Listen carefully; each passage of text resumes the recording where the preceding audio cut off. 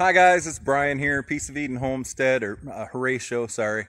Uh, I always forget Homer always wants me to call myself Horatio, and I always forget that. But anyway, I'm here at the Peace of Eden Homestead, out here in the mill yard. There's the mill covered up, keep the rain off it. And uh, last time I was uh, talking about milling lumber, I was splitting these giant oak logs in half, and um, I told you I'd bring you back and show you how we're milling them.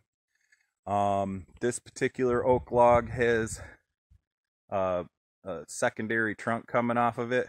So hopefully in this section there will be some really nice um, crotch figure, which is like figured wood in there. And um, unfortunately, even split in half, this log is far too heavy for the tractor that nice beast right there to uh, lift up onto the mill. Um, and it's also um, over 28 inches. It's about 30, I want to say 36. I'd have to measure it again to be sure, wide there. And our mill only handled 28 inches. So what I'm going to do is I'm going to cut this uh, lengthwise again, and then I'll mill both parts as separate uh, milling projects. So I'll bring you along with me and show you how I'm going to do this. And uh, and we'll get to it. All right, so if I measure this and see how wide it is, it is uh, actually 43 inches wide.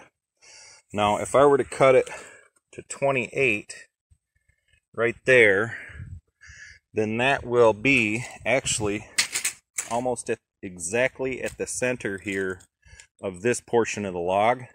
So I think I'm going to do that and then I'll quarter saw this log. Um, so I end up with quarter sawn oak. And then this section will be um, plain sawn with that crotch figure in it. So I'll uh, I'll get, get this marked out and show you what we're gonna do.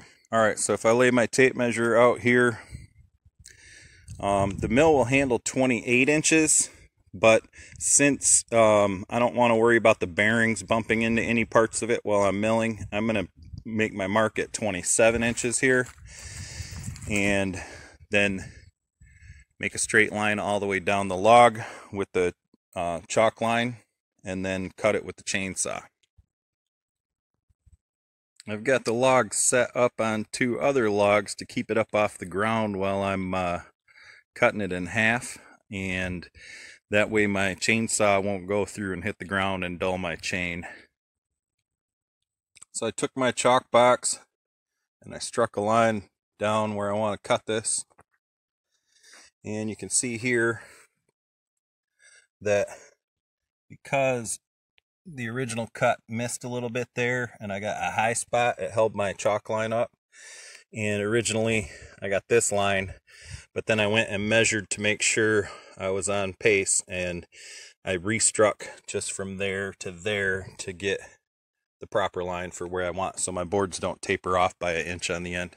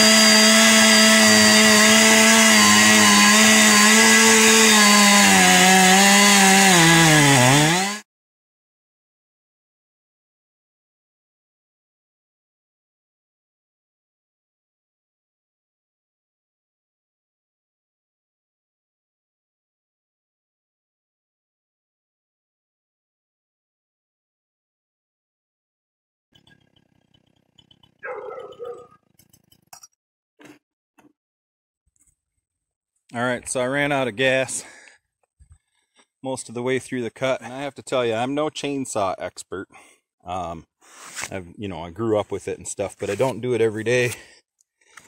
And you can see here is the groove I marked, and I'm off by about an inch. Um, sometimes the log just makes your chain uh, cut one way or the other and sometimes there might be a slight difference in how your teeth are ground or something that makes it hard to get a straight line but it did pretty well most of the way here. You can see I'm about a quarter of an inch off of my groove. Um, now, I do have to say that when you're getting close to the end of the log, you have to realize this log is rounded on the bottom. So when you cut that in half, this part's going to roll this way and this part's going to roll this way. So when I get real close to the end, after I gas up here, I'm going to start standing at the end of the log and working this way rather than on the edge of the log because I don't want that to roll over and hit me. So you always got to think things through before you start, especially when you're out working by yourself like I am today. You got to be extra careful and take time to do what you need to do so that you don't get hurt. Change the camera angle a little bit here so you can see the other end of the log better when I finish it up.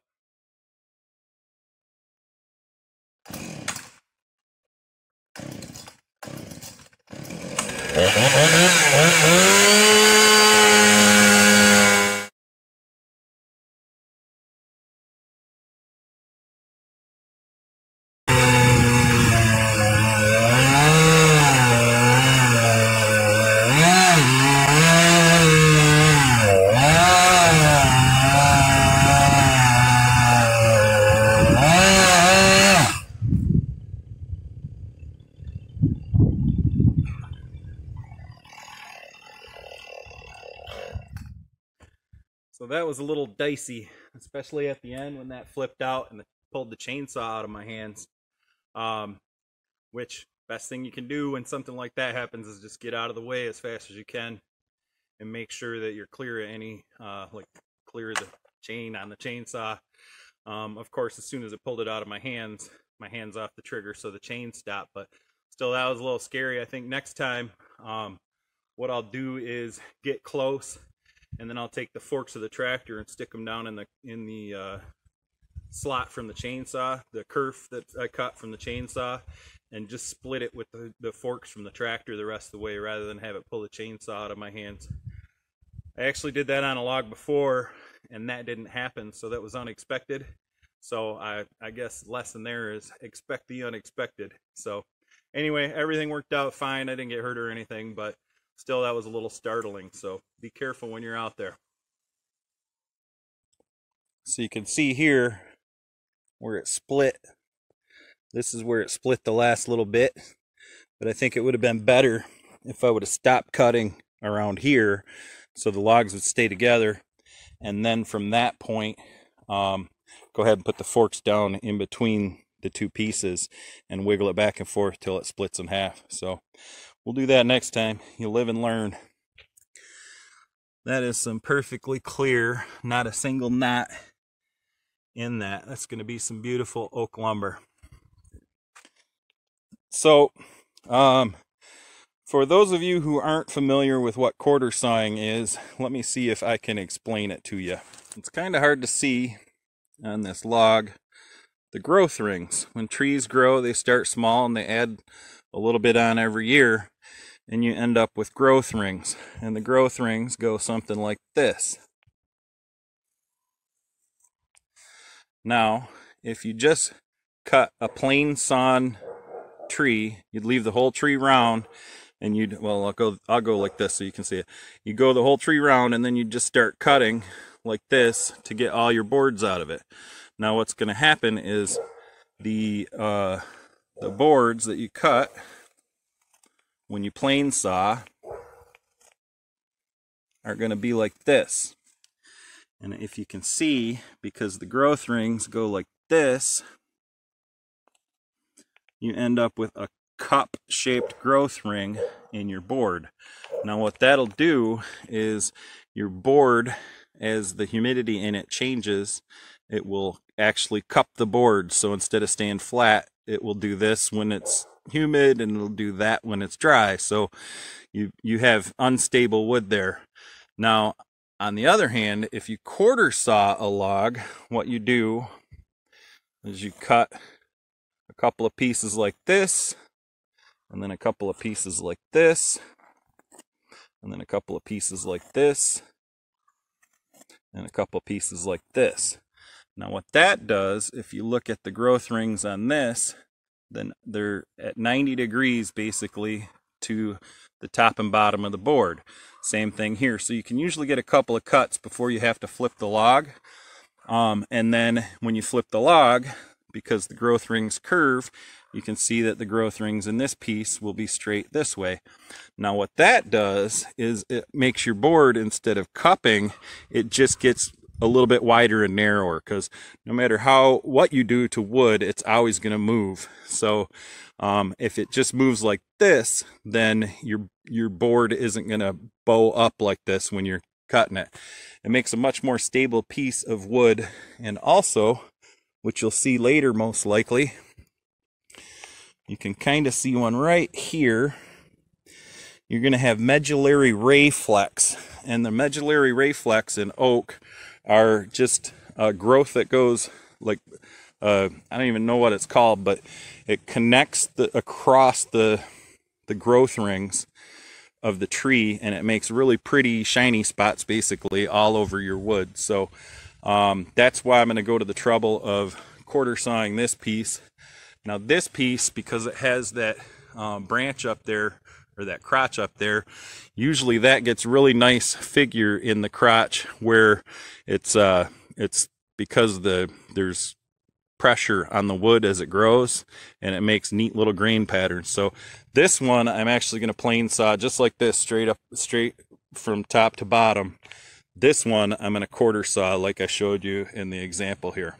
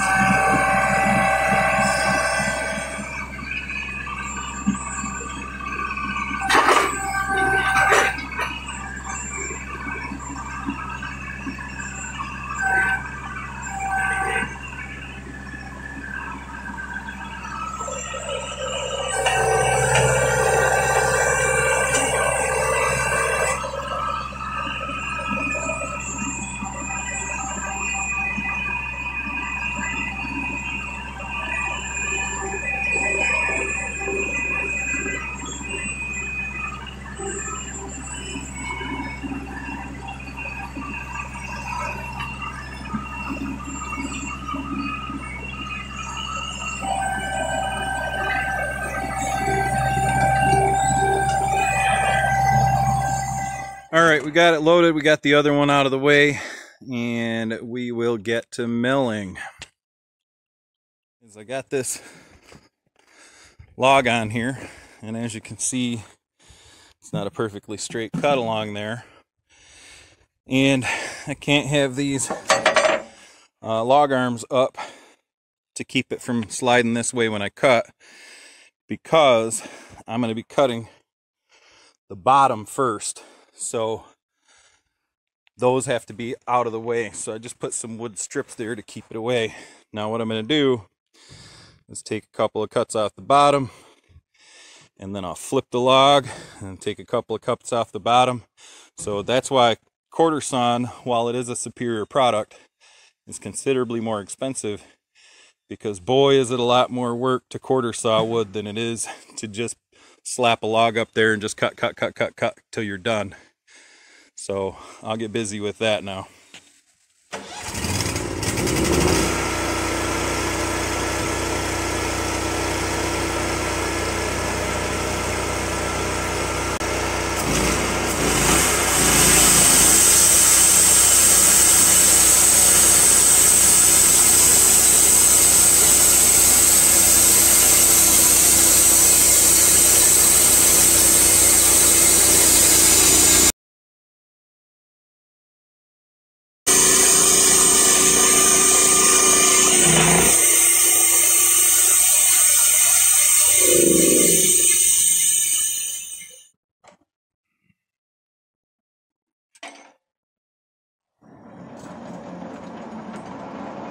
So that first cut I took, I took it three inches.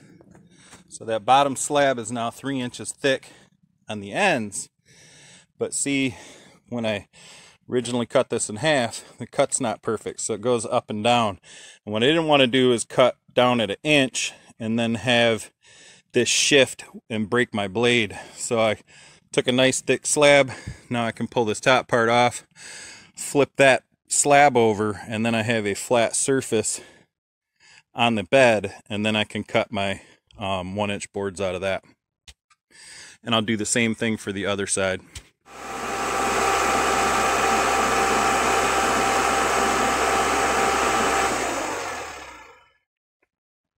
So I lined up the forks so that they will stop this bottom board from sliding and I can slide this top um, cant off of the top of the board. So it won't be easy because this is heavy, but we'll get it off of there.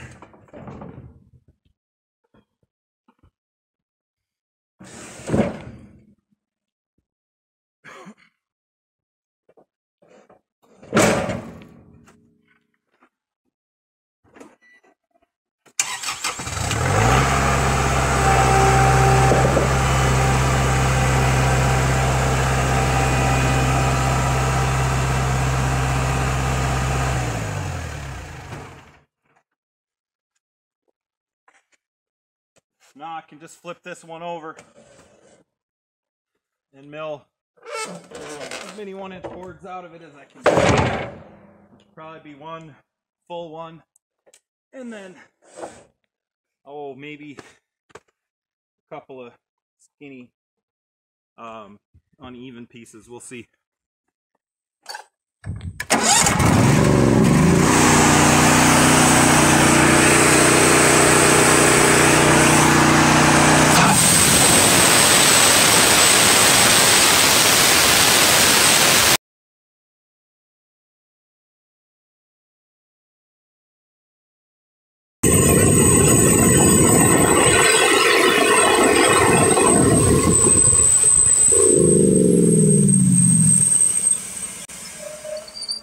Now hopefully you can see why I cut it the way I cut it by cutting this slab off and flipping it is because if this was propping up this end unevenly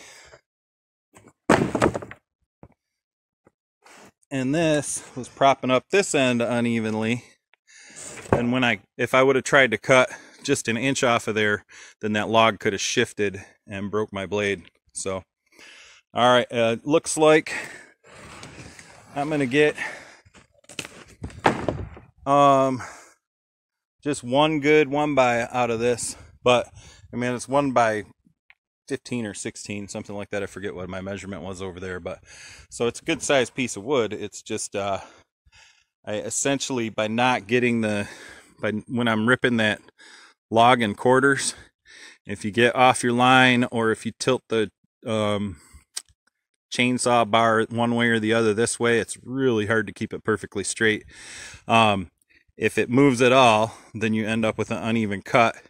And this was a three inch slab if it would have been cut straight. And now I'm only going to get one one inch piece out of it and then probably a couple of pieces I can use for cutting boards. So anyway, let me get cutting and get this other one cut and then get the log back up here.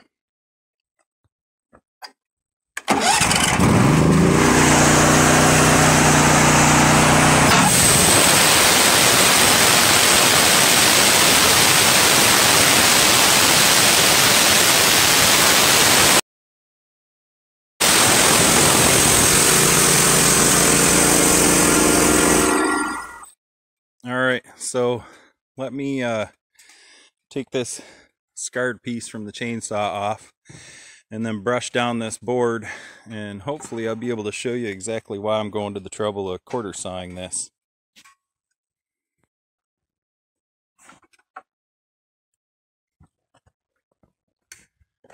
All right, moment of truth. This is why I do this.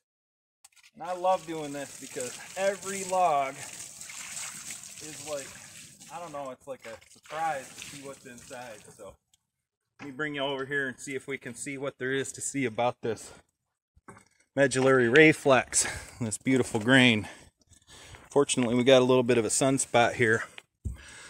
So these flecks, got a real wide one there, a bunch of smaller ones, and along in this piece as well. Um, those really, when they're finished up, they just glow. It's just gorgeous. So that's why I'm going to the trouble, besides just having a stable board, or more stable than a plain sawn board. That's why I'm going to the trouble of quarter sawing this.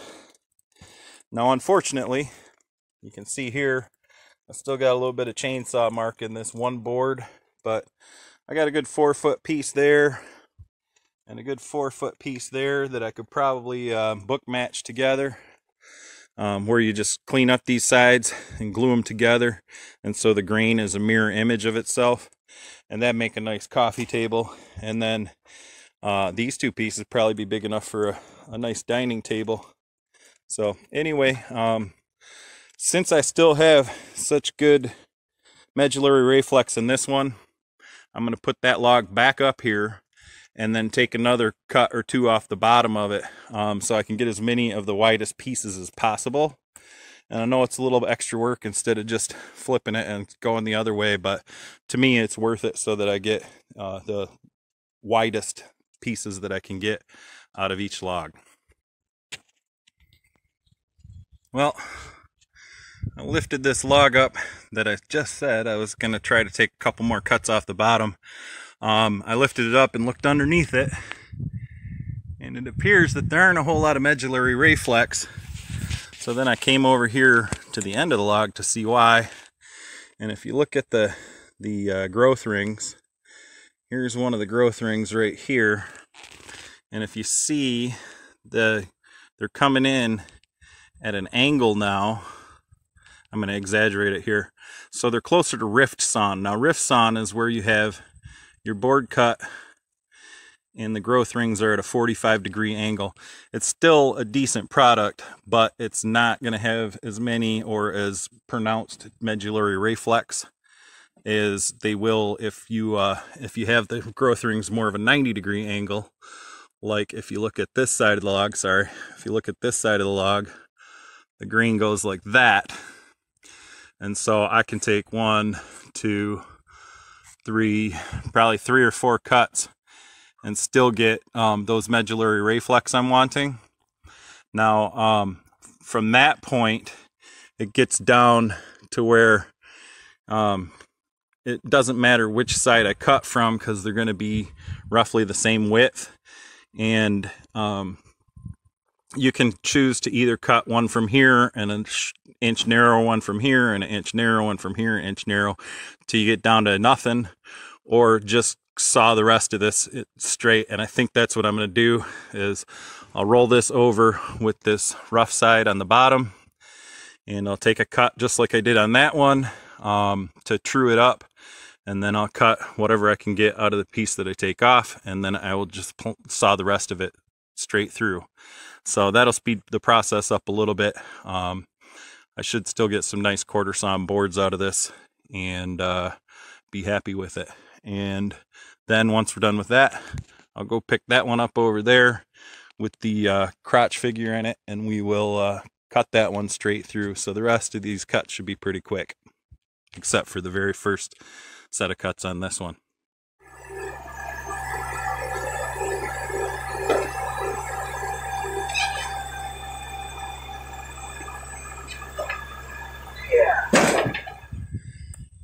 Here's something I ought to show show you guys.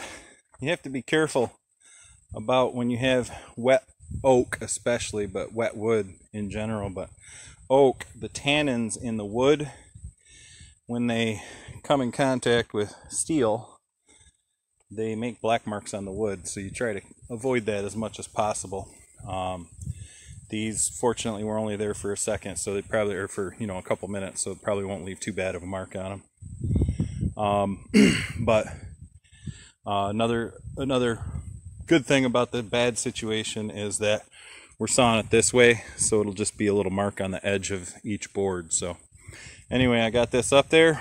Um, I'll get it moved over and uh, take that bottom slab off, and we should be good.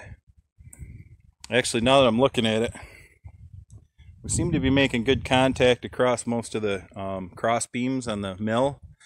Uh, so I think I'm just going to put a couple shims under any parts that are up above it and then I can just mill it from the top down. So that'll save some time. All right, too. we got it clamped in and we're good to go.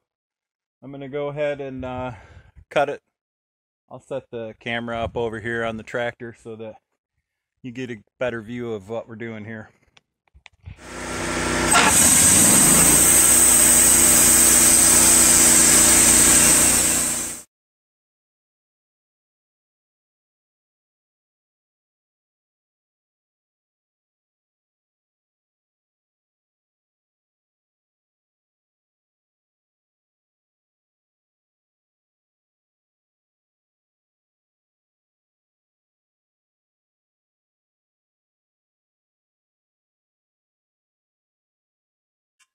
There you go we got it all milled up. Uh, that last cut I got a little uh, held up here because I had my uh, blade guide in close and it hit this clamp right here. So I had to move it out get past the clamp and then move it back in. But uh, I'll see if we got any pretty wood out of here and uh, I'll bring the camera over and let you guys check it out. So here's the first six boards off of the uh, log we just milled. And you can see I have them book matched and what I was telling you about book matched is originally this log was together like this and then we cut it and if we open it up like a book and join that edge there and you end up with some really cool grain patterns in it. It's all pretty straight down there and then you have this little curve where a branch was starting to form in the tree. And if I come over here, you start to see that branch is coming through as a knot. And so it really can add some nifty, it really can add some nice, nice character to anything you're building with this. I'll go ahead and unstack these next boards and see what we have as that knot gets bigger. All right, so we got deeper into that. And you can see all the character there with all the swirling grain and stuff on that book match set. And then over here, that um, the knot that was a little rotted out in that section is no longer rotted out. It's just solid wood now. And we're starting to get bunch of medullary ray flecks in these two. And then this third one which is the last solid piece we have uh, it has a bunch of them. So let me go over there and show you that. So this one has this medullary ray flecks all through here. And you can see them like kind of spreading out in a V pattern there and then where the sun's better you can see them a little better here but that whole board. So what I might do is since I have the narrowest boards stacked this way to the widest board I'll probably take this board that has medullary ray flecks, or more of them and I'll flip that over to book match it with this wider one. So I have a nice wide piece there and then I'll just keep going back so that instead of having one oddball piece that's really wide I'll have a really narrow oddball piece and we'll get it um, get them all dried out and we can make some beautiful furniture and cabinetry with this. Thought I'd bring you over to the sunshine, give you a little better look at what these medullary ray flecks look like. Get some water on here.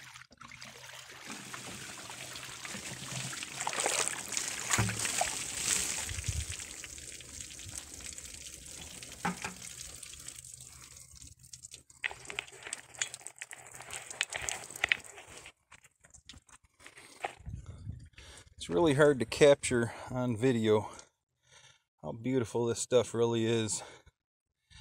But it's just gorgeous stuff. Maybe from this angle might be a little better. My shadow's in the way. Or maybe from this angle.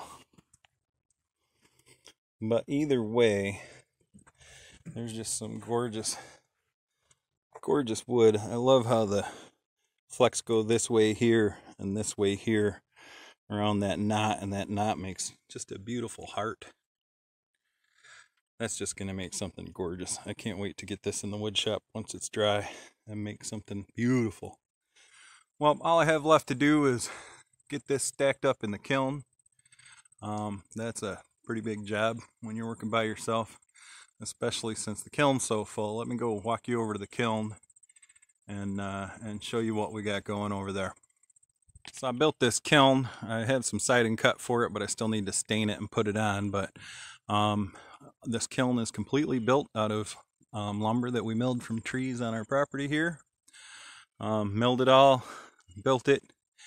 Uh, the sliding glass door panels in the front are uh, they are actually um, just scraps from old remodeling jobs I've done, um, replace some doors, replace some windows, that sort of thing.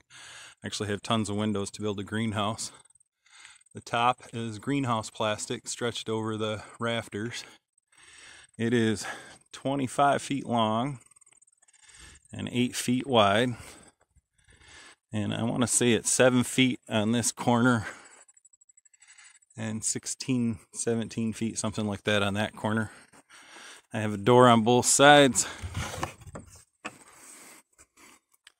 It's all insulated thanks to Homer the homesteader and overall Dave insulated. I, I did part of it, but they did most of it. And then it's already filling up. I saw a lot of plans on the internet for people uh, making you know five foot by ten foot kilns, and I'm like, I'm gonna make it a lot bigger than that. I'll make it eight feet by 25 feet and I'm just fascinated. Let me, well, I'm going to flip the camera around and show you what we got in here a little better. So I am just a hair over six feet tall, and you can see that stacked by the front. It's taller than I am, and it's uh, about 13 feet long on the long ones. Um, the top stack was the edge of a log, and it gets shorter as you go. And then I have some boards in here anywhere from two inches wide and 28 inches, I'm sorry, two inches thick and 28 inches uh, wide by 13 feet long. And I got four of those. Most of it I milled at a little over one inch, so it'll finish at, you know, three quarters. Um, and then I have some smaller pieces from other logs that I milled and so this whole stack is very nearly four feet wide. And then the uh, 16 inches here is only about four feet tall. And the 28 inches here is about six feet tall. Now over in that other corner over there,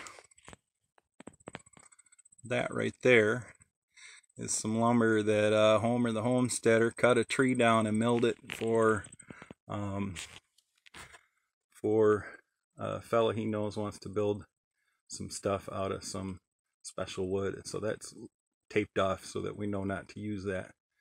On the top over there, there's a four inch slab that's drying for a client of ours. Thank you, Chuck. He's going to make a workbench out of that. It's four inches by, I forget, it's been a while since I milled it, but 16 or 17 inches wide, and I think it's seven or eight feet long. And then here's some smaller lugs we milled a while back. Those are probably just about dry. Uh, it gets very warm in here. Uh, eventually, I'm going to stretch a dark colored tarp along the bottom of those um, rafters there. And then I'll set up fans to circulate the air around and around and around. And I'll put some vents in here. Right now, the, the venting is mostly just when that greenhouse uh, plastic flexes when it gets warm in there. It allows heat out of the top and the ends. So anyway, that's what we got going here. And I think that I'll be able to stack that quarter sawn lumber right here on this stack on top of these shorter pieces. Um, you see they're all stickered so that the air, that these little pieces of wood here between them are called stickers. Uh, they're really just spacers, but in the industry, uh, wood wood milling industry, they call them stickers. But uh, anyway, we'll get those boards we just cut stickered in here, and uh, then we'll stickered and stacked, and then we'll cut the rest of that, uh, the rest of the log over there. But I think I'm gonna save that for another video because this one's already really long. So I sure appreciate you coming along with me while I showed you some things about milling lumber and quarter sawn and plain sawn and all that fun stuff. I hope you learned a little bit. I uh, hope you enjoyed the video and thanks for watching us here at the Peace of Eden Homestead.